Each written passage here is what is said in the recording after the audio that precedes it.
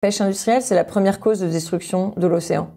Donc c'est la raison pour laquelle on se focalise sur cette, ce segment qui est infinitésimal d'un point de vue du PIB. Euh, c'est euh, dans le PIB français, c'est 0,00, c'est epsilon. En revanche, c'est un impact spatial qui est monstrueux. Au niveau mondial, on a estimé que la pêche industrielle impactait quatre fois plus de zones que l'agriculture mondiale. Donc pour seulement produire 10% des protéines animales au niveau global. Ceci est une conversation avec Claire Nouvian, spécialiste des océans, ancienne journaliste, productrice, réalisatrice de documentaires animaliers et scientifique, depuis devenue militante écologiste. Elle a notamment fondé l'association Bloom qui œuvre pour la conservation marine et a été lauréate du prix Goldman, une des plus hautes distinctions internationales pour la défense de l'environnement. L'océan est le berceau de la vie et demeure le véritable poumon de la planète, la clé de voûte du système vivant. Il est aujourd'hui en danger de mort. La surpêche, la destruction des écosystèmes marins, la pollution et l'acidification le menacent très sérieusement et si ce domino tombe, tous les autres suivront. Pourtant, il est trop souvent le grand oublié de l'équation, sûrement parce qu'il est en vérité encore largement méconnu. Dans cet épisode, j'essaie de mieux comprendre quelle est la situation actuelle, ce qui se joue et pourquoi. Il faut préserver ce poumon, il faut préserver ce berceau de la vie sur Terre, puisque c'est quand même dans l'eau que la vie est apparue sur notre planète, parce que c'est vital. C'est vraiment vital. C'est pas une image, c'est existentiel. Bonjour Claire. Bonjour. Alors, est-ce que tu pourrais rapidement te présenter pour commencer, raconter euh, en quelques mots ce qui t'occupe et me parler des lunettes que tu portes pour euh, regarder le monde? Vaste question, mais j'aime bien commencer par savoir d'où euh, on parle. easy peasy à 30 euros. Je m'appelle Claire Nouvian, j'ai fondé l'association Bloom pour la défense de l'océan. Euh, du climat et puis finalement de la pêche artisanale parce que j'ai découvert que quand on détruisait les poissons, on détruisait aussi les emplois. Euh, et je regarde le monde à travers euh, des lunettes peut-être du siècle, même pas dernier, peut-être du siècle d'avant. je pense que je suis plus connectée à Saint-Saëns et à Beethoven que aux esprits contemporains finalement. En gros, je regarde le monde et je regarde, en fait, j'aime, j'aime le vivant. J'aime vraiment la nature. Je suis émerveillée par les animaux et la beauté du monde. Voilà. Et parfois un peu moins émerveillée par les humains, mais parfois quand même vraiment émerveillée par les humains aussi. Voilà. très bien, ça fait, une, ça fait une belle entrée en matière. On va, on va essayer de balayer bah, tous ces centres d'intérêt, mais en se concentrant sur, euh, bah, sur ce qui t'occupe le plus depuis ces dernières années, c'est-à-dire euh, l'océan, la mer. Euh, puisque c'est aussi, on pourra parler de Bloom, mais c'est de ça qu'on parle quand on parle de Bloom. On, on, connaît, euh, on connaît en fait euh, mal l'océan alors qu'il alors qu'il occupe une place absolument centrale bah, sur, dans nos vies, en fait, dans notre planète, dans la vie en général. La planète qui, pour rappel, est bleue, hein, vue de l'espace. Puis donc, on va prendre le temps de, de lister les, les, enjeux de vie, de civilisation autour de la mer pour, pour ce siècle. Et puis, mais d'abord, je suis curieux de savoir comment comment toi tu introduis un, sujet aussi vaste. Pourquoi est-ce qu'on devrait se préoccuper des, bien plus des océans ou de l'océan, entre guillemets, parce que c'est une seule et même masse d'eau, on tendance à s'oublier. Qu'est-ce que ça représente pour nous, pour le monde? Comment tu euh, cadres le sujet? Quels sont les différents angles quand tu parles de l'océan et de son importance? Eh bien, j'avoue que maintenant j'utilise euh, le parallèle avec le climat parce que les climatologues et l'enjeu climatique a beaucoup d'avance sur les enjeux de biodiversité et de prise de conscience, prise de conscience des, de ce qui de ce qui est en train de disparaître autour de nous. Et, euh, et comme l'océan, comme tu viens de le dire, occupe quand même 70% de la planète, euh, je rappelle que c'est le poumon de la planète et que on n'aura pas de solution climatique si on n'a pas un océan qui est en bonne santé. Parce que la pompe à carbone de l'océan, elle fonctionne s'il y a des animaux, et pas seulement des animaux, mais beaucoup d'animaux en pleine forme. Et donc je rappelle que, euh, par exemple, une baleine, à elle seule, une grande baleine, elle stocke autant de carbone, si ce n'est plus, que 1500 arbres. Et donc, euh, si ce n'est que, si ce n'était que pour cette question climatique, ça vaudrait déjà le coup de s'intéresser à l'océan. Euh, mais évidemment, euh, il y a des enjeux de destruction, euh, puisque le, les, les, l'équivalent du GIEC pour la biodiversité qui s'appelle l'IPBES, un, panel intergouvernemental de, de, de, spécialistes de la biodiversité, nous dit que la première cause de destruction de l'océan aujourd'hui, c'est la pêche industrielle. Et donc quand on a commencé à comprendre, et je pense que si on arrive à cadrer mentalement qu'aujourd'hui, ce qu'il y a dans l'océan a beaucoup disparu et ce qu'il en reste est en train de disparaître à cause de l'échelle de déploiement des captures de poissons par la pêche industrielle, alors on a gagné. On a gagné. Parce qu'après, ça veut dire qu'on est prêt à adapter nos modes de consommation, à se détourner des plats préparés avec du poisson industriel, à ne plus acheter du poisson qui a été capturé avec des méthodes destructrices, euh, tout ça pour avoir du poisson comme une commodité, alors que la pêche, et c'est peut-être ça le plus important, c'est de se rappeler que la pêche est la seule activité à échelle industrielle au niveau du monde entier qui repose sur de la cueillette. On est sur de la cueillette d'espèces sauvages. Et c'est pas du tout comme l'agriculture la, ou l'élevage qu'on peut maîtriser. Là, on est sur de la ressource sauvage. Et donc, on doit penser aux animaux sauvages euh, comme à des pandas. Quand on mange un thon, il faut manger, et il faut penser qu'on mange un, panda. Et donc, si c'est un choix de société, alors pourquoi pas? Mais il faut vraiment que ce soit un choix éclairé. Euh, sinon, on n'est pas dans le bon registre. Voilà, euh, je pense, le cadrage global. J'étais parti, moi, sur, euh, en, préparant un peu ça, sur le, les, enjeux tels qu'ils étaient définis au Grenelle de la mer en, en, 2009, que tu, que tu connais bien, je crois, qui est pour essayer un peu d'hiérarchiser la conversation. Il, parle des enjeux économiques et territoriaux, des enjeux climatiques, donc euh, qui depuis ont pris encore plus d'importance, enjeux de la biodiversité, enjeux de gouvernance. Euh, je ne sais pas si on va avoir le temps de parler de tout ça, mais on peut rester sur, euh, sur cette idée aussi de, de, vie que tu as introduite en, en, parlant de tes lunettes. Est-ce qu'on peut, tu peux m'expliquer un petit peu mieux en fait pourquoi, euh, quelle est l'importance de la vie dans les océans? Qu'est-ce qu'on en sait? Qu'est-ce qu'on ignore encore? Je sais que tu as travaillé aussi sur les, les abysses.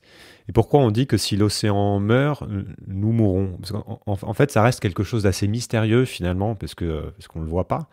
Comme tu disais, c'est assez loin de nous. On, ne se rend pas compte en fait qu'on va que, quand on mange du poisson, toutes les implications, comment ça marche, et que c'est euh, c'est comme de la cueillette. C'est assez intéressant comme image. Comment, euh, qu'est-ce qu'on sait des océans et qu'est-ce qu'on sait en particulier de la vie des océans et de l'importance dans le, dans le système global?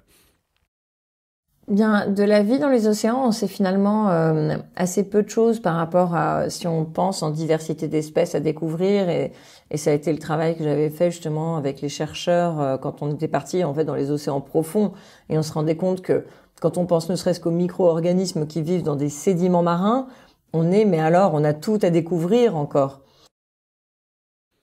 Par exemple, quand on prend les sources hydrothermales, donc l'hydrothermalisme sous-marin, c'est-à-dire ces, fumeurs noirs, ces fumeurs euh, qui crachent du sulfure d'hydrogène à 4000, 2000, 3000 mètres de profondeur dans les océans du globe, autour desquels se développe de la vie en, en symbiose avec ces fumeurs hydrothermaux c'est donc euh, une vie qui vit sans lumière, on est en dehors de la photosynthèse, on est sur la chimiosynthèse.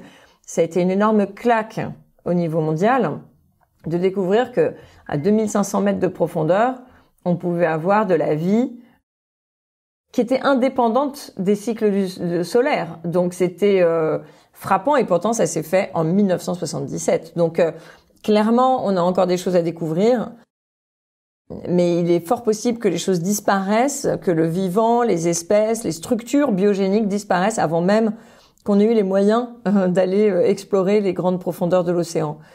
Euh, la contribution de l'océan au niveau euh, du climat, elle est, elle est majeure. Hein. Les, au niveau historique, le climat a absorbé 93% des excédents de chaleur qui ont été euh, générés par nos activités anthropiques. Donc, on ne peut pas réguler le climat alors que l'océan absorbe aussi un tiers de nos émissions de CO2, que c'est euh, par les courants marins qu'on arrive à mettre des cycles en place de régulation euh, de la météo. Euh, on n'aura pas une régulation du climat sans avoir les sédiments marins qui sont le premier puits de carbone au niveau mondial, que tout ça reste effectif. Donc il faut préserver ce poumon, il faut préserver ce berceau de la vie sur Terre, puisque c'est quand même dans l'eau que la vie est apparue sur notre planète. parce que c'est vital. C'est vraiment vital. C'est pas une image. C'est c'est c'est existentiel. Oui, c'est-à-dire que c'est un peu le tunnel carbone euh, quand on parle du climat. C'est-à-dire qu'on on se, on se, focalise presque uniquement sur les émissions carbone en oubliant euh, typiquement l'aspect systémique du sujet et le fonctionnement du système Terre qu'on connaît finalement assez mal, qu'on découvre petit à petit, qu'on connaît bien mieux qu'il y a quelques années, mais c'est comme s'il y avait, euh, on avait des œillères totalement, enfin toujours présentes sur le rôle typiquement que joue l'océan dans la captation carbone et le rôle que joue la vie dans l'océan pour réguler tout ça. Quoi. Donc c'est un peu aussi ce que tu essaies de mettre sur la table en disant attendez les gars, il ne s'agit pas que de diminuer le carbone. Si, euh, si on continue d'avoir, même, même si on était aux énergies, euh, si on passait aux énergies renouvelables mais continuait à pêcher autant, finalement on, aurait toujours le même problème parce qu'on on enlèverait le principal puits carbone de, de, l'océan, c'est ça? Oui, et je, pense que moi, j'ai pas comme mission euh, de faire en sorte que les gens deviennent des climatologues ou océanographes ou qu'ils aient une culture ultra précise euh, par rapport au cycle, au grand cycle, euh, soit biochimique, euh, climatique, etc. Je pense que l'enjeu, c'est d'avoir, de changer notre rapport au vivant. C'est de, de rentrer dans un rapport qui comprend que on fait partie de la biosphère, que la biosphère a besoin d'un équilibre global et qu'on peut pas continuer avec des méthodes de prélèvement qui sont vraiment trop destructrices et qui, ont, qui se sont vraiment accélérés avec l'échelle industrielle, hein, euh, post-révolution industrielle et encore plus depuis 1950. Euh, si on arrive à comprendre que notre rapport au vivant et au monde naturel n'est pas le bon, alors on n'a pas besoin d'être des spécialistes en fait. C'est rentrer dans cette euh, ouais dans une espèce de matrice intégrée. On fait partie de l'écosystème. On a besoin d'avoir l'impact le plus faible possible sur cet écosystème pour déjà laisser de la place au vivant parce qu'on dépend du vivant, on en fait partie, on a du vivant en nous, les bactéries c'est ce qu'on a le plus important dans notre corps, on est intégré à tout ça et je pense que c'est plutôt lutter contre la scission cartésienne euh, qui s'est faite dans notre culture française euh, de séparer le corps et l'esprit et qui est quelque chose de très très très euh, profond chez nous. On sépare vraiment la tête du corps et on s'est séparé de la nature aussi alors qu'elle elle n'était pas si lointaine notre connexion à la nature. Au Moyen Âge, on faisait des procès d'animaux. Ils, ils, comparaissaient en fait à la barre, quoi. Donc euh, ils étaient accusés, euh, les sauterelles étaient accusées, on accusait les limaces. Non, mais vraiment, c'était des procès très sérieux, des procès d'animaux. Comme quoi, le rapport un peu magique au monde naturel, il a existé, il a fait partie de notre culture et il s'est coupé avec cogito ergo sum, quoi. Donc je pense qu'on a besoin de, de, se reconnecter surtout à, au fait que c'est du respect euh, pour soi et pour les autres, y compris le vivant non humain. Euh, qu'on a intégré. Si on arrive à ça, on n'a pas besoin de devenir des spécialistes. Évidemment qu'un peu de culture scientifique, ça fait du bien. Évidemment que nous, ça nous met en position de, de, de, faire en sorte que notre contenu soit accueilli de façon plus rapide et plus facilement et avec plus de jovialité même. Mais on n'en a pas besoin forcément. On n'a pas besoin des experts pour comprendre qu'on est allé trop loin dans la destruction de tout ce qu'il y a autour de nous et pas seulement l'océan, évidemment. Euh, le terrain, on a et prélevé et pollué et détruit. On a fragmenté les habitats, on a fait disparaître les espèces, on a fait disparaître les habitats et on a pollué tout ça. Donc, euh, donc ça fait beaucoup. Ouais. Alors, vous avez fait une petite euh, bifurcation là. On, s'éloigne un peu du sujet de l'océan, mais le rapport à la nature, est, il, est, central aussi dans le diagnostic. Euh, on entend souvent effectivement que euh, euh, le cartésianisme est, à l'origine aussi, sinon on va parler du christianisme aussi, enfin de la religion qui sont à l'origine de cette séparation entre l'homme et la nature, l'homme est au-dessus de la nature, etc. Comme maître et possesseur, rendre comme maître et possesseur de la nature, Descartes. Mais quand on va voir ailleurs, tu as vécu à Hong Kong, moi aussi, on se rend compte que les animaux sont pas du tout mieux traité là-bas non plus, qu'il n'y a pas, euh, même c'est même souvent pire, le, traitement le rapport à la souffrance animale est quasi inexistant. Donc, euh, et c'est pareil quand on va au Japon, et c'est pareil. Est-ce que vraiment cette idée que le, ce serait euh, le, cartésianisme ou le christianisme que sais-je qui, qui nous a mis là-dedans est, justifié? Parce qu'on voit ça partout dans le monde quasiment, sauf en tout cas dans le monde développé. C'est-à-dire que le rapport aux animaux est, est vraiment...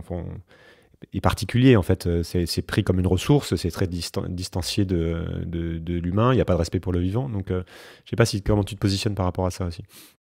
Ouais, je pense que j'ai lu pas mal sur le sujet et le débat n'est pas tranché. Hein. Donc, euh, il faut plutôt rentrer dans des chapelles de croyances, de savoir euh, si c'est à l'origine du christianisme, si c'est plutôt le cartésianisme, etc.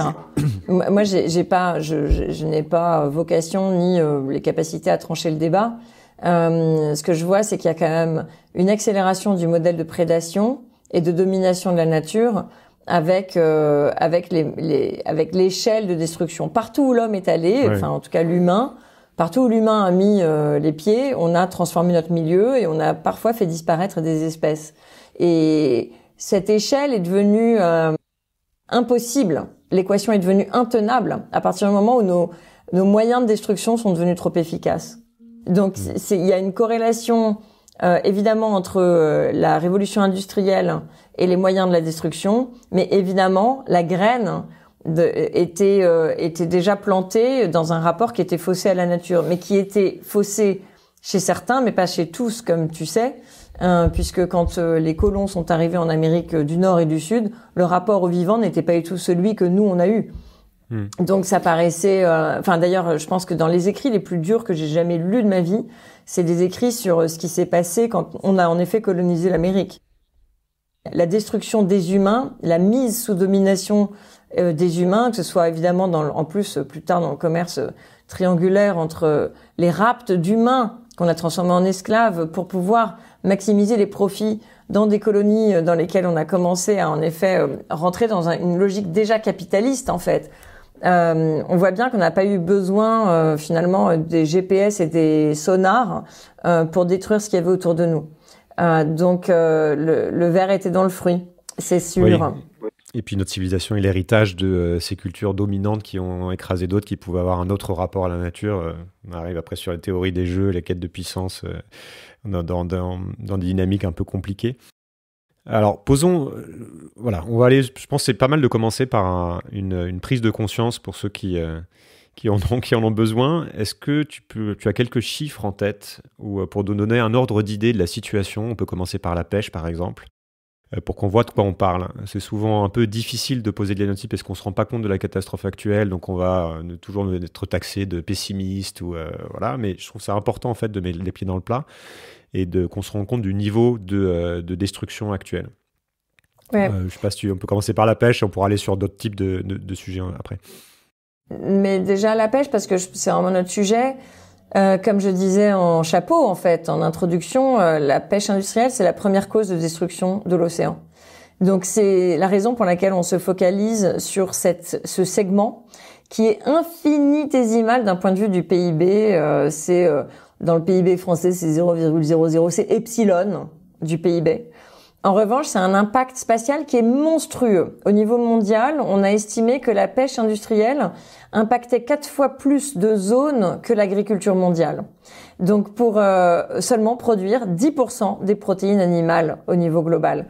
Donc il y a un impact qui est totalement décorrélé de l'importance de notre régime protéinique et totalement décorrélé de son importance économique.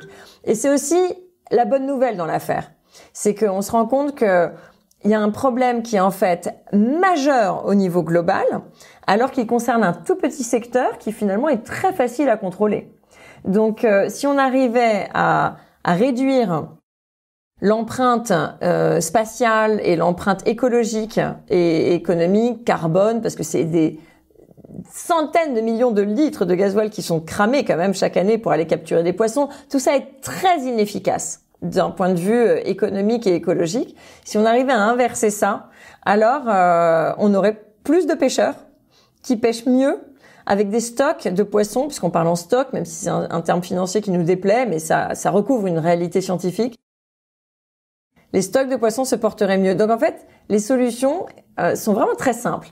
Là où là où on n'est pas très très bien, c'est que ces équations, elles passent par une mise en œuvre politique. Et là, on a un petit sujet sur le courage politique, sur la capacité du politique à se confronter à des minuscules lobbies, malheureusement très puissants. Et puissants parce, parce que les forces publiques le veulent bien. Hein. C'est pas qu'ils sont puissants dans l'absolu, puisqu'ils représentent quasiment rien dans l'économie, et qu'en plus, la plupart des flottes industrielles seraient euh, totalement incapables de pêcher, si on arrêtait de leur détaxer le gasoil, c'est-à-dire on leur paye la moitié de la facture, et si on arrêtait de leur donner des subventions publiques. Donc en fait, c'est un secteur qui est déficitaire structurellement. Donc le truc est complètement fou, mais il est tellement fou que je me dis qu'à force de le dire et de produire des analyses sur le sujet, on va bien finir par gagner. à un moment donné, c'est tellement contre-productif que d'un point de vue social, économique et écologique, ça devrait craquer. À quel point on a, on a vidé l'océan en, en parce qu'il y a une scie exponentielle, hein, mais ça s'est notamment accéléré comme, comme, à peu près tout ces, ces 20-30 dernières années pour se rendre alors compte les chiffres sont... Euh, dans les eaux qu'on connaît. Ouais, ouais. les chiffres sont déprimants. Hein. Par contre, il faut un petit peu s'accrocher.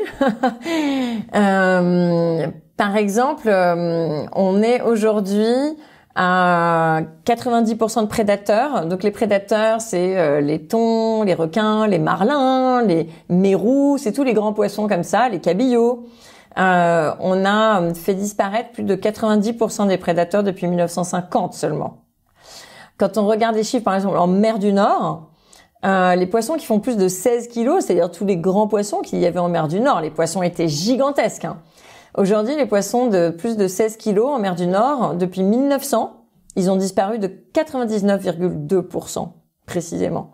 Donc on est euh, sur des, des, biomasses incroyables. Par exemple, une, étude euh, formidable qui a vraiment reconstruit le nombre de baleines qui ont été tuées dans l'océan euh, d'un point de vue historique.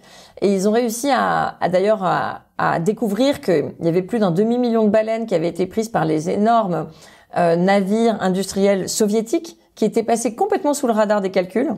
Euh, et en fait, on estime qu'on a tué 3 millions de baleines sur les environ 4 ou 5 millions qu'il y avait à l'époque. Donc, euh, on estime qu'en biomasse, le massacre des baleines, historique, hein, c'est-à-dire surtout le 19e et, le 20, et surtout le 20e siècle, ça correspond au plus gros massacre de biomasse vivante sur Terre dans l'histoire de l'humanité. C'est-à-dire que même les 60 millions de bisons euh, qu'on a euh, en biomasse, ça correspond pas à ces 3 millions de baleines. Donc euh, on est allé très loin en fait. Hein. On, est, on a vraiment produit des navires à échelle industrielle sur financement public. Hein. On a payé la construction de ces énormes navires industriels. Et ils sont allés de plus en plus loin parce qu'ils ont vraiment tout pris à côté de nos côtes. Donc ils sont allés de plus en plus loin géographiquement. Ils ont commencé à pêcher de nouvelles espèces et ils sont allés après, plus ils épuisaient et en surface et de nouvelles espèces, ils sont allés chercher en profondeur. Et donc on dit qu'il y a une triple expansion des pêches industrielles qui est géographique, spécifique et bathymétrique. C'est-à-dire qu'on va, on va pêcher de plus en plus profondément. Et c'est ce sur quoi on s'était battu d'ailleurs chez Bloom, parce que faire passer des énormes bulldozers géants avec des filets gigantesques dans lesquels on peut faire loger plusieurs avions, avec des énormes boules d'acier qui passent sur des écosystèmes multimillénaires qui sont euh, qui se trouvent à 2000 mètres de profondeur, 1500 euh, mètres de profondeur, donc en dehors de, de, de l'espace de rayonnement solaire, dans des logiques d'eau très froides, de longévité extrême. C'est extraordinaire. Donc on a les, les animaux les... Oui, c'est les, les records de longévité sur Terre en fait, hein, euh, dans le règne animal, et faire passer des bulldozers géants financer publiquement pour tout détruire en l'espace de quelques secondes, tout ça pour se retrouver avec du poisson dégueulasse. Non mais il faut quand même le dire, pas bon du tout.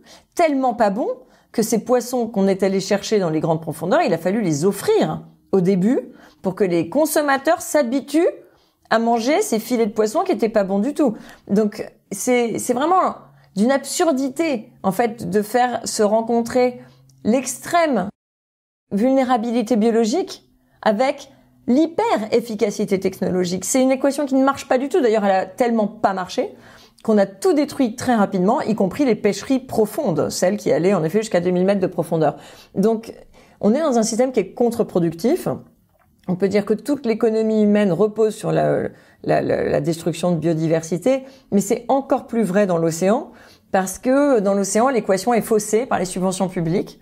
S'il y avait une forme de régulation économique euh, des flottes de pêche, elles arrêteraient de pêcher, elles auraient arrêté de pêcher depuis fort longtemps.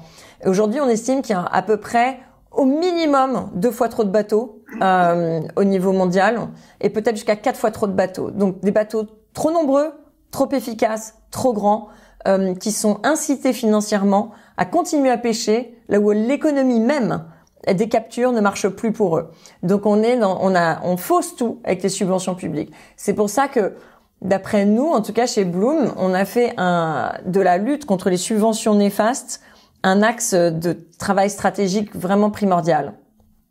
C'est-à-dire que ça n'a même pas de sens économiquement, parce qu'on pourrait dire euh, ce serait un marché euh, extrêmement rentable. Quelque part, il y aurait une espèce de, logique, en tout cas capitalistique derrière. Mais là, ce que tu dis, c'est que s'il n'y avait pas de dette ou qu'il n'y avait pas de fonds publics, ça n'aurait même pas de sens parce que, euh, parce que finalement, c'est n'est pas quelque chose qui est important même pour, le, pour notre alimentation et c'est pas quelque chose qui est important pour l'économie. Donc, on est sur une absurdité euh, complète. Une absurdité complète, c'est-à-dire qu'en en fait, on a détruit les stocks de poissons. Donc aujourd'hui, on a 43% de surexploitation dans l'Atlantique Nord-Est. On a 83% des stocks de poissons de la Méditerranée qui sont surexploités. 83%. Enfin, c'est dire la gravité du système qui est complètement fou parce qu'on a détruit les poissons, donc on a détruit même notre indépendance euh, euh, alimentaire. On a détruit la sécurité alimentaire des pays du Sud parce qu'à force de produire des énormes bateaux, on les envoie en Afrique parce que comme ça, on va chercher les derniers poissons là-bas. Et on a détruit les emplois. On détruit vraiment la dynamique économique de notre propre littoral. Et on l'a vu très récemment parce qu'au moment même où on se parle, il y a trois énormes chalutiers, il faut quand même se représenter cette affaire-là, il y a trois énormes chalutiers qui sont en train de pêcher sur les côtes de Manche, ils font minimum 100 mètres. 100 mètres de longueur, ils arrivent des Pays-Bas, c'est des monstres. Faut imaginer 100 mètres. Ils peuvent prendre jusqu'à 200 ou 400 000 kilos de poissons par jour. Donc leurs filets vont du, de la surface jusqu'au fond. C'est vraiment des gueules géantes. C'est comme dans un dessin animé euh, de, de qui, serait dystopique. On, on, voit passer ces choses, ils prennent tout et ils laissent derrière eux un désert. Et ça, c'est le modèle qui est soutenu par les puissances publiques. Donc ces énormes navires, ils sont à côté, euh, à côté d'eux, ils ont des bateaux, littéralement de 8 mètres, de pêcheurs artisans français. Ils ont leurs bateaux de 8 mètres, de 12 mètres, qui se retrouvent face à ces bateaux de 140 mètres, qui viennent dans leurs eaux, leur, leur zone de pêche. Et c'est ça qu'on soutient au niveau de la puissance publique comme modèle de pêche. C'est à eux qu'on fait tapis rouge pour donner du quota, pour donner des licences de pêche, pour accorder le droit de venir jusque, jusqu'à la côte, jusqu'à la côte, venir pêcher. Donc on est dans un système qui est immensément brutal.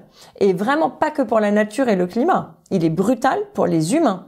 Parce que les pêcheurs artisans sont vraiment en train de disparaître. Et ils sont... Euh, le bulldozer leur passe dessus aussi, en fait. Ils passent pas que sur les écosystèmes marins. Ils sont désespérés. Ils sont dégoûtés.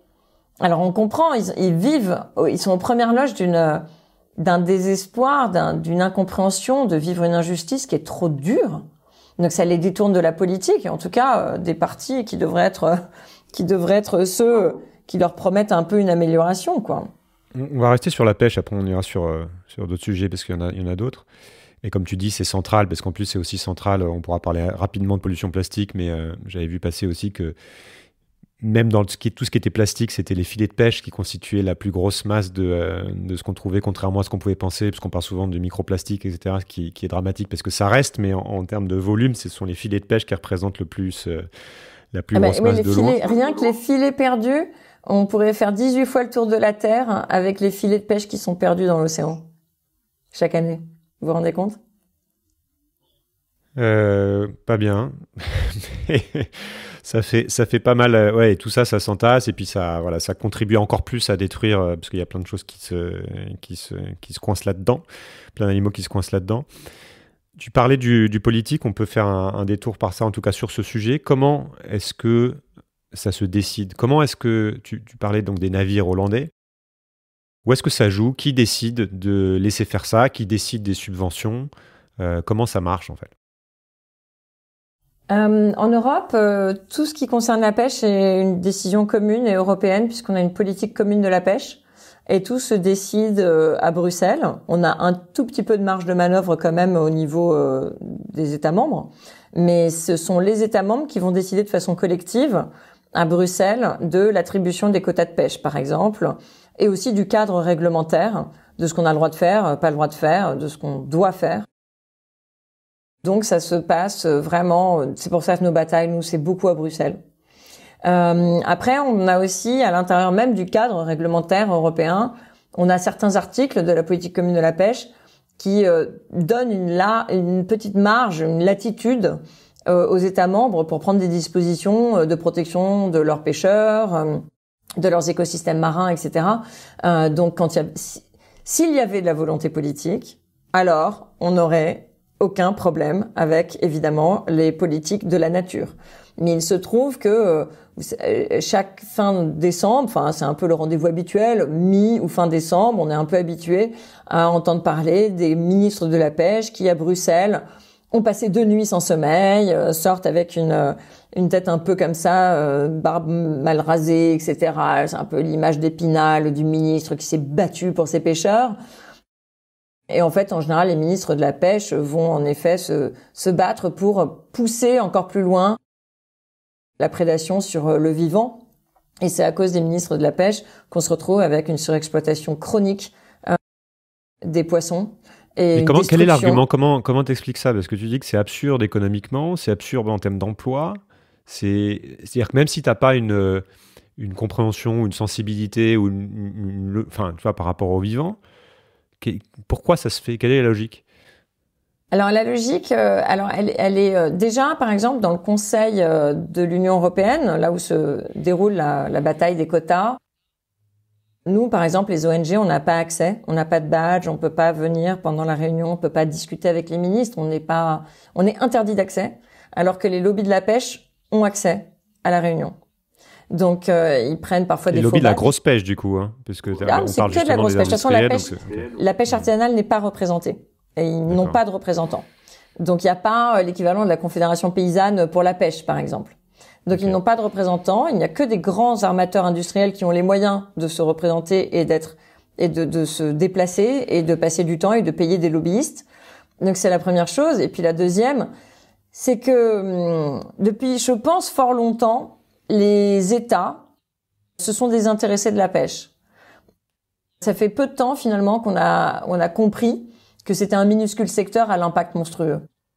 Pendant longtemps, ils se sont juste dit c'est un petit secteur qui est vraiment très très vocal, qui est capable de euh, d'avoir le JT. Dès qu'il bloque un port, il y a le JT qui se précipite pour euh, filmer les pêcheurs. Ils brûlent des pneus, il y a le JT. Ils ont fait brûler le Parlement de Bretagne à Rennes parce qu'ils étaient mécontents sur le prix du gasoil. Alors ils obtiennent toujours ce qu'ils veulent. Et donc mais là, tu parles des industriels ou parce qu'il y a aussi une confusion? Souvent, on voit des images, euh, on a l'impression que ça va être des plus petits pêcheurs artisanaux qui sont mécontents pour d'autres raisons, mais il y a, il y a vraiment Alors, niveaux. Ce qu'on appelle la pêche industrielle, déjà, c'est un, un, c'est très vaste. Euh, nous, c'est pour ça qu'on a scindé, en fait. Parce que au niveau international, on, est, on appelle artisanal ce qui fait moins de 12 mètres et qui utilise des méthodes sélectives, par exemple la pêche à la ligne, où on a le poisson qu'on attrape, si on n'est pas content, à la rigueur, on le décroche et on le remet à l'eau. Il n'y a aucune prise accidentelle, donc on n'attrape pas des tortues, des requins, des raies, euh, je ne sais quoi. Euh, et au-dessus de 12 mètres, c'est de la pêche industrielle. Mais évidemment, on peut pas comparer un bateau de 12 mètres 80 avec un énorme chalutier de 140 mètres. Euh, donc en fait, il y a un segment semi-industriel de 12 à 25 mètres qui est quand même qui est capable d'avoir un énorme impact euh, sur l'environnement et sur les espèces. Euh, mais c'est plutôt les méthodes de pêche qui sont en fait euh, euh mises en cause en fait d'un point de vue industriel, c'est-à-dire que c'est ce qui pèse assez lourd dans la représentation euh, des pêcheurs aujourd'hui et ceux qui influent sur les décisions, ce sont les chalutiers.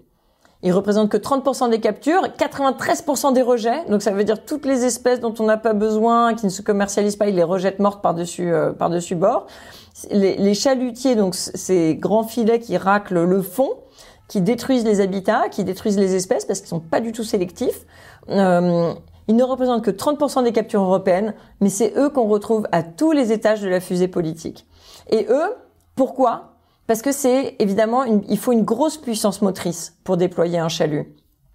Comme le chalutage, c'est un filet qui est lesté, qui touche le fond et qui racle les fonds, il faut le tracter. Pour le tracter, il faut vraiment euh, de la puissance motrice et donc du gasoil. Et donc, ils ont besoin des subventions publiques. Leur modèle n'existerait pas sans les subventions publiques.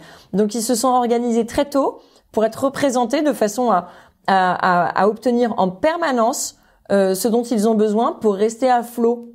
Leur modèle ne repose que sur les subventions publiques. Il n'existe pas sans subventions publiques. Et donc, c'est la première raison.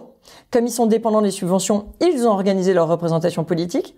Et secondo, ils sont tout à fait plébiscité et soutenu par la grande distribution.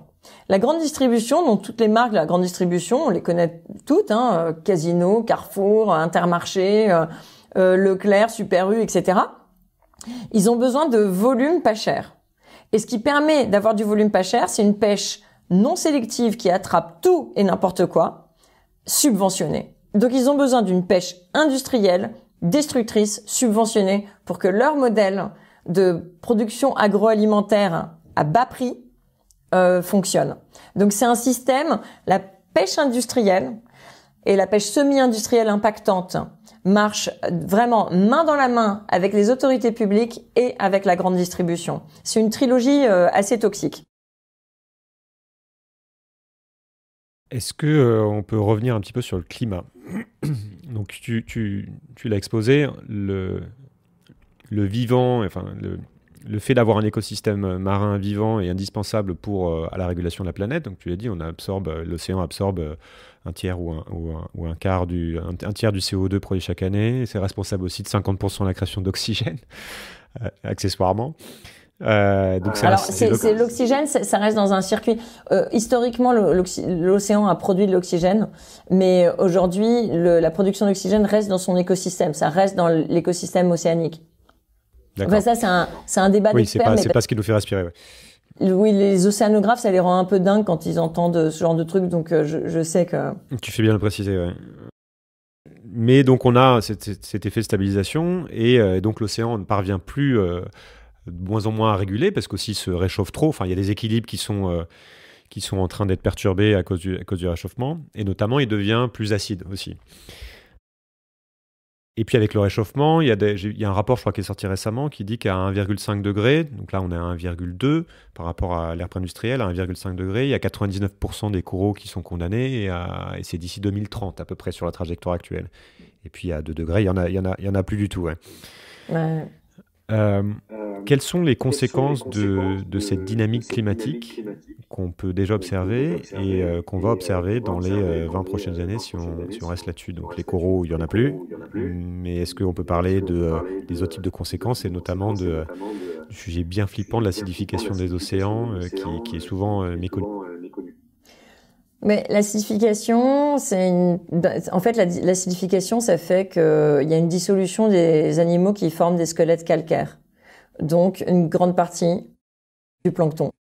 Alors pas seulement en effet, euh, comme tu l'as dit, parce qu'il faut se représenter que les coraux, quand ils disparaissent et quand on augmente le taux d'acidification, enfin l'acidification des océans, on se retrouve avec une craie qu'on mettrait dans un verre de vinaigre. Donc euh, c'est en, très peu de temps, ça se dissout entièrement. Et c'est pareil pour tous les organismes formateurs de, de squelettes calcaires. Donc ça veut dire qu'en effet, on déstabilise entièrement les chaînes de production alimentaire et, et, et toute la chaîne alimentaire dans l'océan. Donc c'est la. Donc potentiellement, il n'y a plus de vie en quelques années, quoi. Quand on euh, passe un certain seuil. Mais ça fait exactement partie de, ces, de ce que les chercheurs et les climatologues ont commencé à, à essayer de faire passer dans le grand public, ce qu'on appelle les boucles de rétroaction. Mmh, C'est-à-dire que voilà, on sait qu'on va basculer euh, dans une bah, parce qu'il y a évidemment l'augmentation du niveau des mers hein, qui est déjà qui a doublé là euh, très récemment, donc on est quand même à 3,4 mm euh, par an, je crois, un truc comme ça. Il faudra vérifier le chiffre, mais on, on, on tout s'accélère. Et à partir du moment où on commence à, en effet, euh, dissoudre des piliers euh, de, de, du fonctionnement des écosystèmes, ça veut dire qu'on rentre dans des basculements euh, qu'on a du mal à prévoir. Donc on fait des scénarios. Euh, mais en fait, même quand on parle avec des océanographes, j'ai des amis euh, climatologues et océanographes, et quand on parle des données, ils nous disent que même les scénarios optimistes, en fait, euh, qui sont pas du tout réalistes, hein, parce qu'on sait qu'on est plutôt sur des scénarios euh, pessimistes, mais que même les scénarios optimistes, ils sont tellement flippants, mais tellement flippants, que nous, je, je, je te jure qu'en fait, on change de conversation quand on arrive là-dessus. Parce que c'est trop dur, c'est trop dur. J'avais fait tourner euh, sur les réseaux là, un petit schéma qui, justement, de la trajectoire d'acidification qui disait qu'on avait un, un, scénario, si on, si on continuait comme ça. Évidemment, c'est des systèmes super complexes, donc c'est pas de la prédiction, mais que euh, quand on passe un, un, un certain taux, en juste quelques années, c'est la disparition totale de la vie dans les océans, on se retrouve avec une espèce de soupe de bactéries avec les Ce qu'on a déjà hein, à certains endroits. Ouais. Et on a déjà ça à certains endroits, donc on voit très bien, on a 400 zones mortes dans l'océan, ça augmente. S'il n'y a plus de vie dans l'océan, il n'y a plus de vie sur Terre. Il n'y a plus de vie sur Terre. Donc on est dans des scénarios où potentiellement il n'y a plus de vie sur Terre euh, d'ici euh, d'ici la fin du siècle quasiment. Quoi. Mais en fait, euh, c'est ça devient étant donné que comme tu le précisais, on est à soit 1,1, soit 1,2 déjà de réchauffement et on voit déjà ce que ça produit euh, d'un point de vue climatique. On sait qu'on est sur des trajectoires euh, à 2,5 minimum. Enfin, on n'arrivera pas, on n'arrive pas à maintenir à, à moins de 2 parce qu'on n'a aucune volonté de le faire et que dès qu'on commence à dire il va falloir aller vers la sobriété, tout le monde râle parce qu'on veut continuer à éclairer notre sapin, prendre l'avion et notre voiture sans, sans, sans faire notre part d'effort. Mais en vérité, euh, il y a suffisamment de richesses. On a, dans les siècles passés, accumulé suffisamment de richesses pour pouvoir euh, euh, engager des politiques publiques très, très, très volontaristes pour faire en sorte qu'on arrive hein, à maintenir la courbe mais ça veut dire euh, isoler les bâtiments, euh, changer la mobilité, euh, faire un investissement massif infrastructurel maintenant, qu'on ne fait pas. Non, nos, nos, politiques, ils sont quand même encore déterminés à soutenir les destructeurs du climat. Et par exemple, Total, enfin je le prends au hasard, mais bon, Total, on voit bien que Patrick Pouyanné, le PDG de Total, il est dans son monde, il est sur une trajectoire à 3 ou 3,5. Et 3,5 degrés de préchauffement, c'est quasiment la fin du monde. Enfin, en tout cas, c'est la fin du monde tel qu'on le connaît, ça c'est sûr. Et les très privilégiés, je pense, ça les inquiète pas plus que ça, parce qu'ils ont toujours les, ils auront toujours les moyens euh, d'acheter de l'eau, de se barricader. Mais ça veut dire des, des migrations aussi humaines, parce qu'il y a une énorme partie de la planète, et on estime 60% éventuellement de la planète qui va devenir inhabitable, euh, soit à cause de la désertification, soit à cause des, des chaleurs humides qui font que les humains meurent, le vivant meurt parce qu'on ne peut plus réguler notre propre nos propres besoins de, de, de chaleur et et, euh, et, on le voit, hein, il y en a eu en Inde récemment. Hein, c'est une destruction du vivant qui est très rapide, très rapide. De quoi on est sur des scénarios qui sont catastrophiques. Donc, euh, à partir de là, à partir de là, on est. Moi, je sais pas. Enfin, la, la, les courbes sont tellement euh, effrayantes On est engagé sur une pente, euh, on est engagé sur une pente euh, à 90 degrés, euh, verglacée, à fond de balle, avec des skis qui sont pas fartés, donc il y en a plus de quart. Enfin, c'est incontrôlé quoi. Et et quand on en est là, moi je sais qu'il me reste une seule chose, c'est l'action. Enfin, l'action, l'action, l'action déterminée, stratégique, avec un plan pour faire une vraie différence. Et il faut marquer à la culotte les politiques puisqu'ils sont éminemment responsables. Enfin, on peut faire tous les efforts qu'on veut, mais à un moment donné, euh, c'est bien, enfin, de mettre des cols roulés et de prendre, de faire pipi sous la douche, mais ça va pas le faire non plus, quoi. Donc, il va falloir, euh, en effet, un niveau de volonté euh, politique gigantesque. Aujourd'hui, il n'existe pas parce qu'on a quand même une structure de pouvoir qui est néolibérale. Et de toute façon, tu l'as rappelé, hein, on a un peu le sujet planétaire. Hein. donc, il faut contraindre le politique, je pense. Alors parlons un peu, de, un peu de ça et de ce qui se fait et de ce qui est compris. Il y a comme, comme l'équivalent des COP en fait qui existe, mais enfin des COP d'ailleurs pour le, pour le vivant. Il y a le World Planet Summit qui a eu lieu euh, bah, à Lisbonne euh, l'été dernier, qui avait commencé à Brest. Euh, je crois que tu avais, boycotté. Qu'est-ce qui se joue dans ces forums? Qu'est-ce qui est décidé? À quoi ça sert? Est-ce que ça sert à quelque chose? Est-ce que c'est pour partager des informations des constats qui sont toujours hyper dramatiques et puis finalement on les écoute à moitié et on n'en fait rien Est-ce qu'il y a de la volonté mais on est coincé par d'autres systèmes? Euh, Est-ce que tout le monde fait semblant? Je voudrais juste savoir en fait quel est le comment, cette, euh, cette réflexion, en tout cas réglementaire, s'organise à l'heure actuelle? Et après, qu'est-ce qui marche, qu'est-ce qui marche pas? Euh, le multilatéralisme, on peut le questionner dans son efficacité. En tout cas, moi, je le questionne de façon très nette. Hein c'est parce que les, les, processus multilatéraux sont longs, lents, inefficaces et qu'en plus ils n'ont pas de dents à la fin. Il n'y a pas de puisque ce n'est pas du contraignant et, euh, et qu'il n'y a pas euh, un corpus juridique euh, auquel se référer. Nous, on s'engage pas dans ce genre de processus. En revanche, ils sont utiles, bien sûr. Enfin, en tout cas, on ne sait pas faire sans. Parce que euh, ça reste un, le, le, forum de discussion euh, interplanétaire. Enfin, donc, euh, si on veut avoir une discussion entre la Chine, l'Inde, l'Iran, la France, les États-Unis, le Pérou, ça reste des COP, ça reste des conférences des partis. ou des grandes conférences comme la conférence de l'océan à Lisbonne qui a eu lieu en juin 2022. Maintenant, c'est évidemment insuffisant parce que on reste, l'échelle de l'action reste l'échelle de la souveraineté nationale. Donc, ces organismes et ces conférences internationales, elles sont utiles pour fixer un agenda international. Évidemment, dans le meilleur des mondes, euh, cet agenda serait contraignant. Pour l'instant, il ne l'est pas. Mais je me dis que ça sert au moins aux nations pour se faire valoir les unes par rapport aux autres, jouer un peu leur crédibilité internationale et un peu avoir honte parce qu'elles n'ont pas fait le job ou elles n'ont pas implémenté, elles n'ont pas mis en place, etc. Ça nous sert au moins à ça.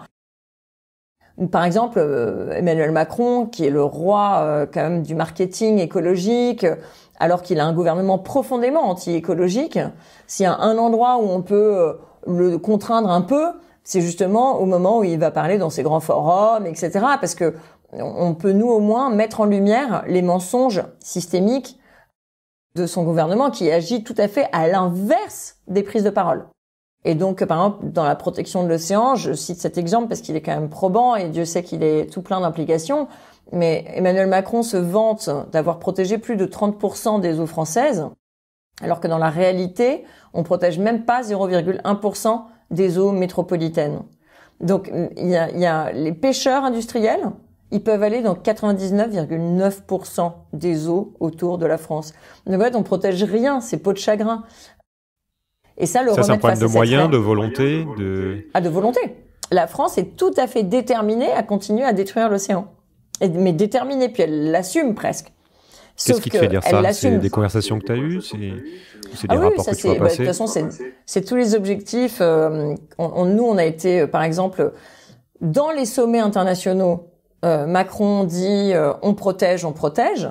Et au moment même, par exemple, à Brest, il a organisé un, One Ocean Summit, un, sommet pour l'océan, évidemment et opportunément avant l'élection présidentielle, histoire de faire une petite couche de marketing écolo avant le vote, histoire de pas perdre complètement les écolos.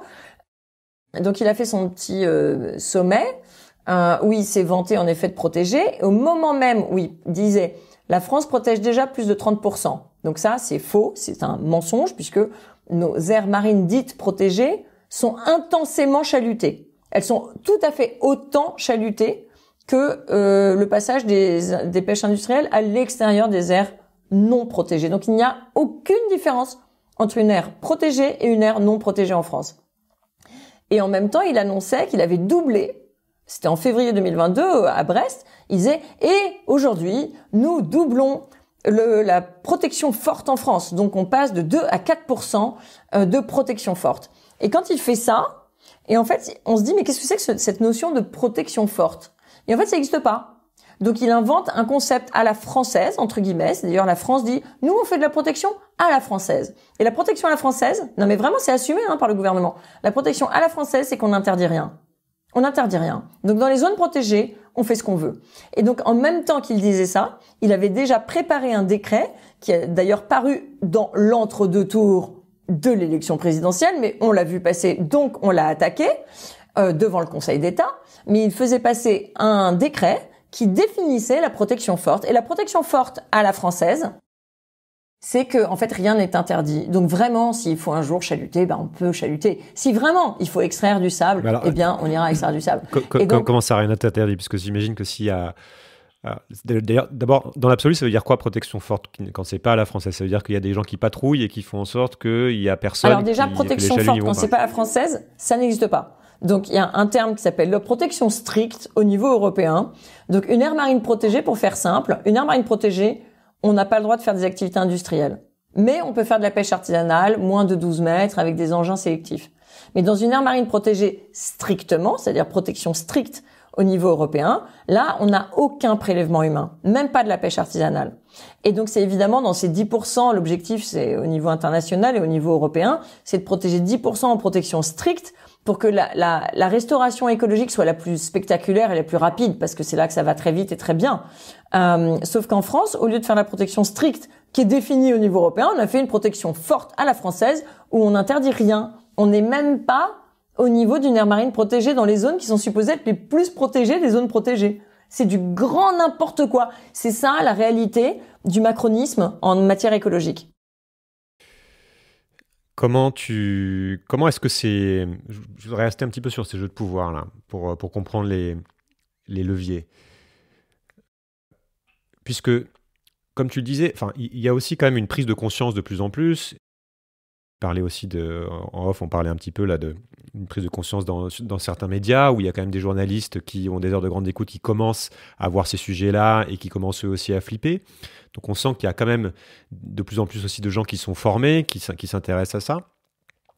Dans le monde politique, on n'est toujours pas à un niveau d'intérêt, de, prise de conscience par rapport à ces enjeux, ne serait-ce que sur l'océan. J'ai déjà beaucoup parlé du climat ailleurs, mais si on se concentre sur l'océan, ou alors c'est vraiment une espèce de cynisme absolu ou, euh, ou du, de l'électoralisme. Comment toi tu, tu analyses la Deuxième option. Deuxième cynisme option. Absolu. Cynisme absolu. Ah, cynisme absolu et électoralisme. C'est-à-dire que, comme je disais tout à l'heure, on a acheté la paix sociale avec euh, des emmerdeurs, entre guillemets. cest des types qui viennent euh, brûler des pneus dans les ports, brûler le Parlement de Bretagne. Donc ce lobby du chalut, qui a vraiment pollué euh, la vie médiatique et la vie politique, eh bien les politiques ont acheté la paix sociale en leur donnant de l'argent public, faites ce que vous voulez, de toute façon ça marche, ça intéresse la grande distribution d'avoir ce poisson pas cher. Donc ils ont ils ont ils ont même délégué les fonctions de l'État directement au secteur industriel qui se gère. Ils se gèrent. Donc ils sont en cogestion. Donc en fait, c'est plutôt le secteur, il faut vraiment se représenter la pêche comme une chose, minuscule secteur à l'empreinte écologique monstrueuse qui se gère avec les moyens de l'État en soutien.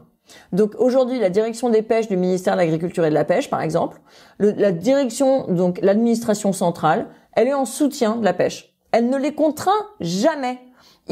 L'administration fait ce que le lobby demande, à tel point que je ne sais pas si euh, ça d'ailleurs est repéré par nos auditeurs, mais euh, nous, on a révélé, par exemple, que sur la, la, les pêches européennes, quand elles se produisent en Afrique, par exemple les pêches au thon, parce qu'on on mange tous du thon tropical, du thon en boîte. Alors, faut pas manger de thon en boîte, à moins qu'il y ait marqué déjà thon de ligne, parce que sinon, c'est des méthodes de pêche qui sont dévastatrices pour l'environnement.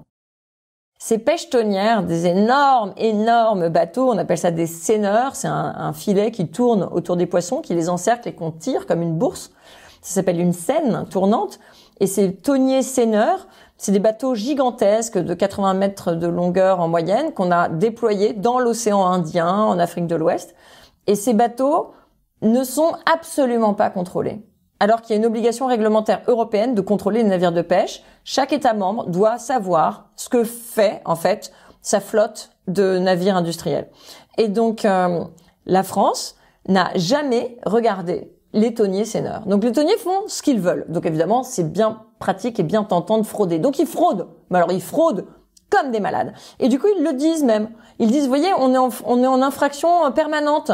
Alors, il faudrait que ce serait bien que la loi s'adapte à nos fraudes plutôt que nous, euh, on se mette à pêcher comme il faut. Non, mais c'est écrit, hein, c'est noir sur blanc, décontracté. Et donc l'État dit, ah oui, c'est une bonne idée ça de faire en sorte que en fait, mmh, les fraudes. Plus de problème avec la loi. Oui. Voilà, qui est plus de problème avec la loi. Donc, la France, qu'est-ce qu'elle est en train de faire? Elle est en train d'essayer de changer. Et pour l'instant, elle réussit. Hein, elle est en train d'essayer de changer la norme européenne pour que les flottes de pêche tonnières aient le droit de frauder massivement, de façon à ce que dorénavant, ben, ce soit plus de la fraude, mais que ça devienne la nouvelle norme. Donc, détruire ce qu'il reste de poissons, sachant qu'en fait, maintenant, on attrape, on attrape carrément plus que des juvéniles parce qu'on a déjà pris tous les adultes.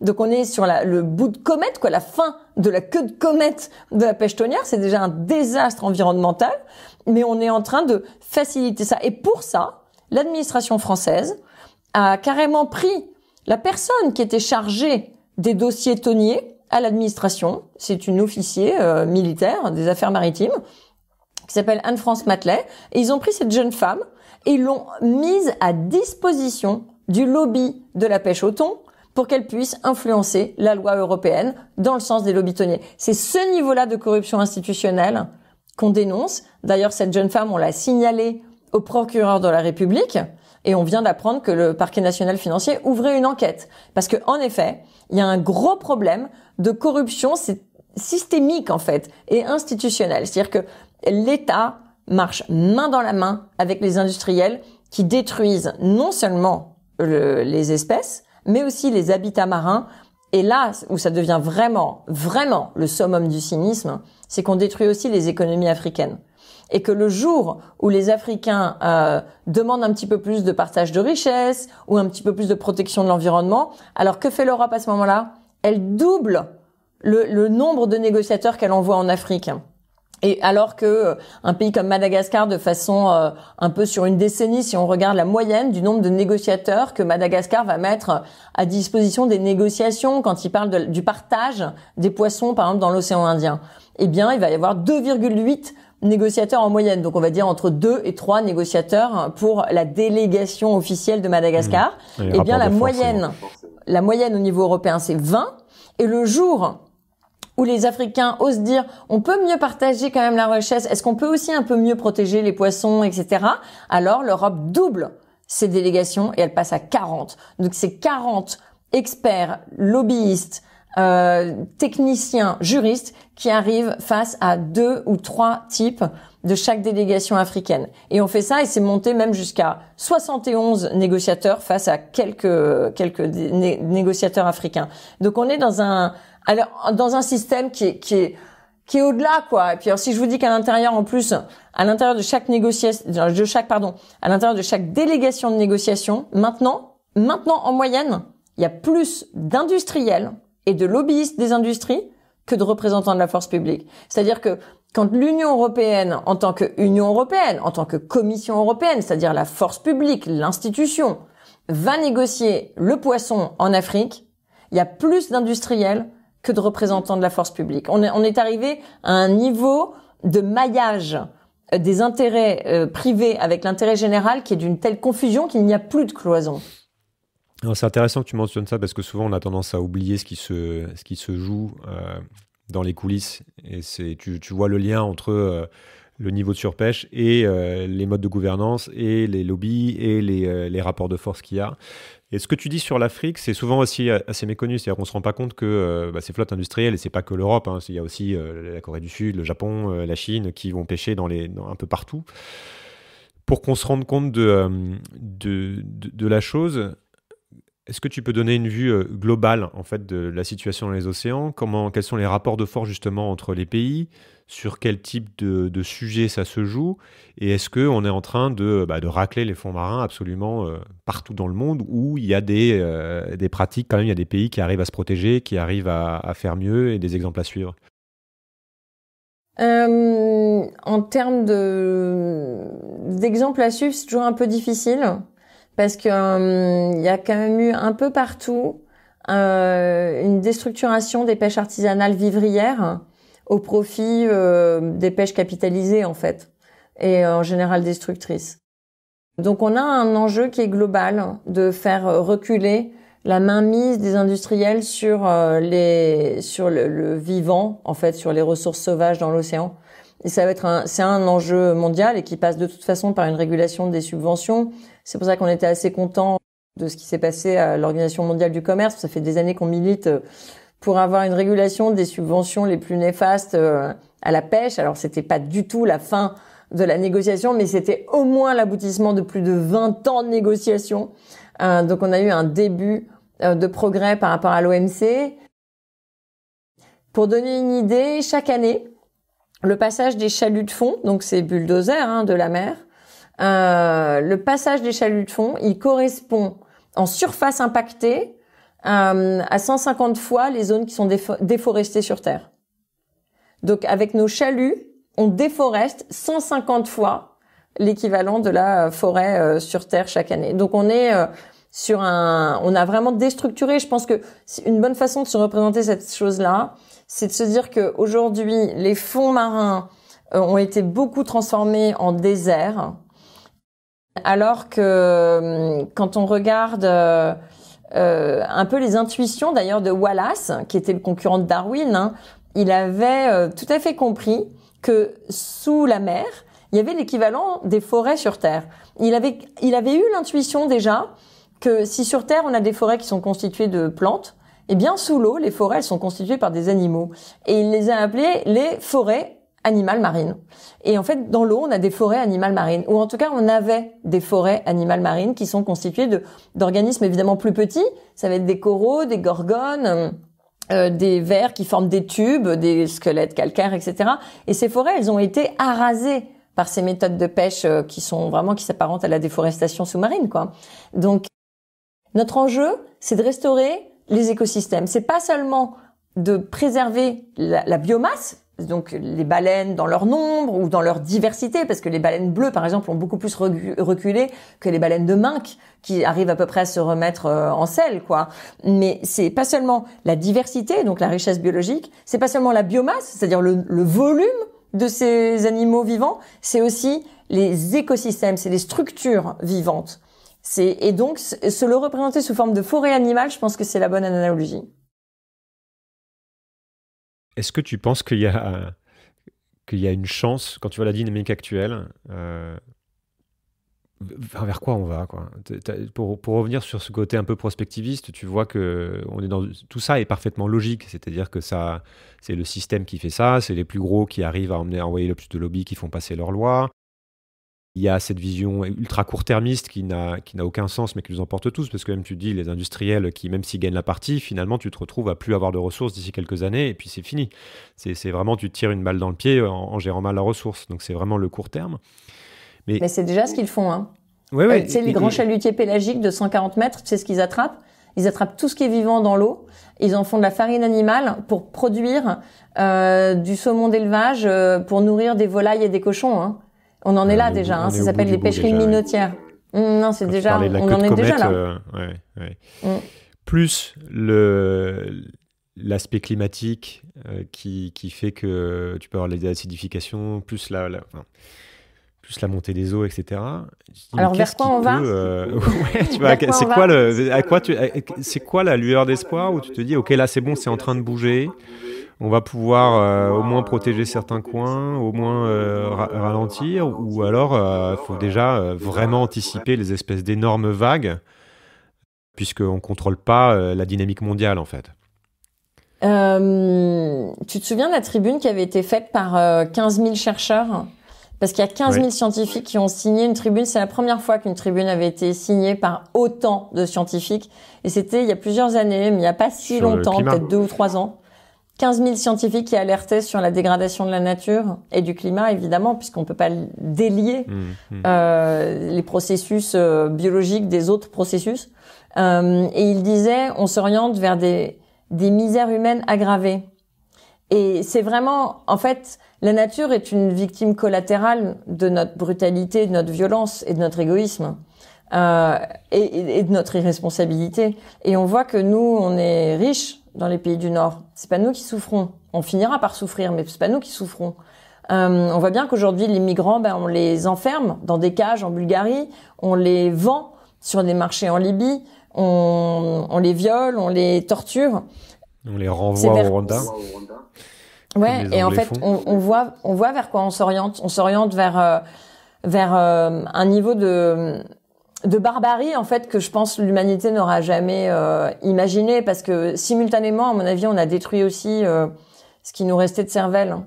euh, au lieu de continuer à enfin normalement dans la promesse en tout cas des penseurs des lumières il y avait une émancipation une émancipation intellectuelle et culturelle pour aller vers plus de générosité et plus de prise en compte inclusive de, de, de l'humanité tout entière et de la planète. Et là, on est très très loin du compte puisqu'on a pas mal déstructuré par euh, le niveau de, de, débilité des médias ambiants euh, et privés, hein, puisque Fox News n'a été que le précurseur de ce qui est en train de nous arriver tout à fait euh, euh de façon tout à fait similaire en Europe. Je pense qu'on a on a on a bien anéanti les euh, un, un socle de principes éthiques communs moi, je suis assez euh, choquée d'ailleurs par la brutalité de certains jeunes que je vois dans des jeunes hommes. Là, j'en ai eu pas mal. J'ai eu une série dans le métro avec des gens d'une rudesse, d'une impolitesse, d'un incivisme que je n'avais quand même jamais, euh, que j'avais jamais envisagé. Et je me suis dit, évidemment, je vis dans une bulle. Moi, je suis entourée de chercheurs. On vit, on est, on est, on vit tellement dans la donnée. On a tellement les chiffres en tête. On a tellement les grandes trajectoires. On voit très, très bien où on s'oriente.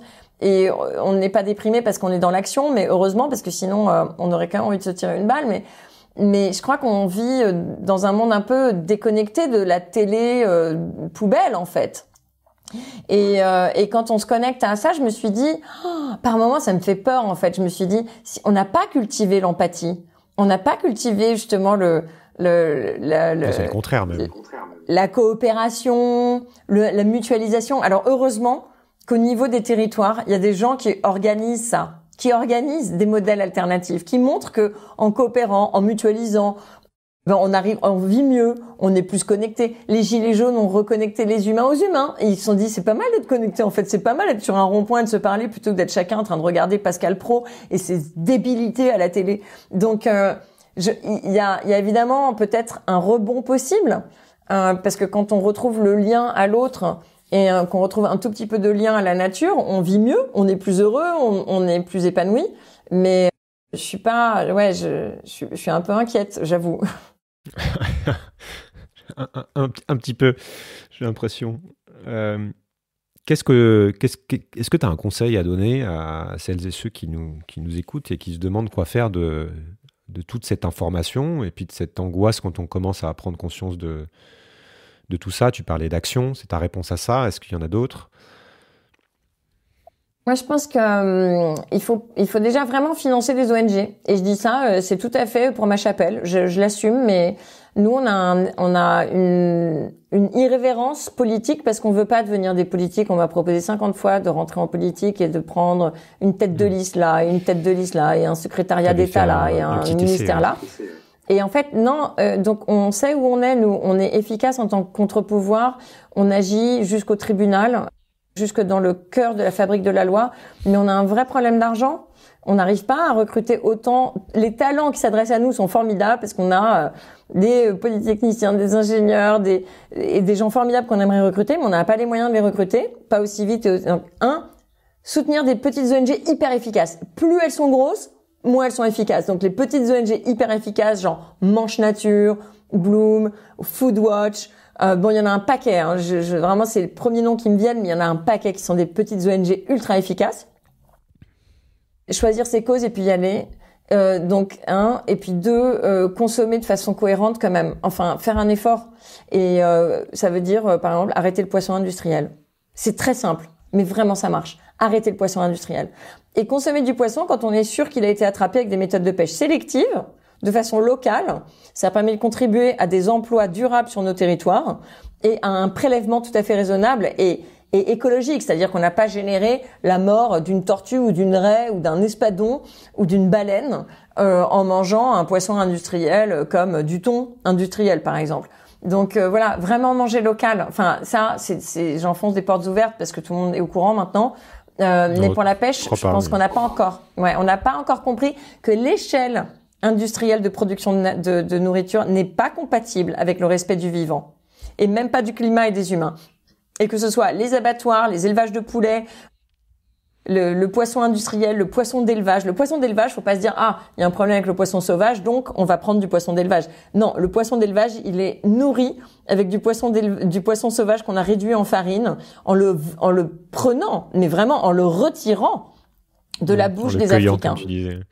Ouais, on l'a cueilli en Afrique en déstructurant des pêches vivrières euh, ancestrales et en leur retirant du poisson qu'on ose leur revendre après l'avoir fait mettre en boîte chez eux. Donc c'est non, c'est honteux de vraiment l'échelle industrielle, je pense. Revenir et puis en fait on vit mieux. Hein. On vit mieux quand on arrête de prendre l'avion toutes les 10 secondes et on n'a pas de décalage horaire. On vit mieux quand on prend juste le train et qu'on voit défiler le paysage qu'on a plus de temps, qu'on se déconnecte des écrans. Et puis, alors moi, le truc qui me déprime, c'est pour ça que je, suis vraiment, euh, moi, je, suis une pré-moderne et non pas une post-moderne, mais euh, j'ai vraiment du mal avec euh, le niveau de d'accoutumance des humains à la technologie. Enfin, je vois tous ces gens avec des objets connectés, des montres connectées, des machins connectés, des rouleaux connectés, des des, des je sais pas quoi, des, des comment on appelle ça les euh, euh, shutters, comment on dit en français Attends, je reprends. Les, ouais, les, volets. Les volets. Tu vois, les volets connectés, donc ils sont tous là. Les gens ils sont là avec leurs volets connectés. Euh, il y a une tempête, euh, une panne de courant, ils peuvent pas s'échapper de leur maison parce qu'ils ont des volets, je sais pas quoi. Non mais ça devient n'importe quoi. Je veux dire, on peut continuer, on peut continuer à ouvrir des volets mécaniquement. Ça va, on va pas mourir. On a des jambes, on peut se passer d'un paquet de choses. Donc euh, vivre en cohérence en fait, réfléchir, réfléchir, lire, s'abreuver, comprendre le monde, comprendre que chaque objet a une traçabilité. Est-ce qu'on est en accord avec la traçabilité écologique et humaine que chaque objet a? Questionner ça. Et si la réponse hmm. est oui, alors oui. Et donc re-questionner. En fait, faut relire. En fait, c'est un petit conseil de lecture. Bah, c'est justement euh, deux, livres à lire pour euh, pour bien traverser l'époque. Un conseil de lecture, c'est euh, le livre de Keynes, en fait, dans les années 30, hein, le grand économiste. Il avait fait une lettre à ses petits-enfants, je crois, et en fait, c'est épatant de clairvoyance sur euh, les enjeux qui vont être les nôtres. Il avait tout vu. Là, il avait tout vu quand même. Et donc, euh, il dit, euh, en fait, il faut toujours questionner nos besoins par rapport à nos désirs. Et je pense que c'est une bonne matrice. On peut toujours se dire, est-ce que j'en ai besoin ou est-ce que j'en ai envie? Et si j'en ai envie, est-ce que j'en ai eu envie assez longtemps? Est-ce que vraiment l'impact, pour le coup, il y a peut-être un impact chaque chose a un impact. Mais est-ce que l'impact, je trouve acceptable? Et euh, si c'est euh, acheter une Wii euh, pour faire du jeu, je sais pas quoi, enfin je dis ça, je connais même pas, mais enfin faire des trucs, mettre nos enfants devant des écrans alors qu'ils savent plus lire, qu'ils savent plus faire du calcul mental, etc. Je sais pas si c'est vraiment un service à leur rendre juste pour qu'ils arrêtent de nous casser les pieds pendant cinq minutes. Bah il vaut mieux qu'ils fassent du bruit ou qu'ils réclament notre attention et, et qu'on leur mette pas des objets connectés parce que ça, ça génère et le désastre dans les mines de coltan en République du Congo, ça génère euh, des gangs qui violent les femmes en série, euh, etc. Quoi. moi, je suis pas en accord avec ça. Donc, je me dis, si on si on rentre dans la conscience, ça change tout. Conscience et connaissance. On va finir là-dessus. Merci beaucoup, Claire. Merci.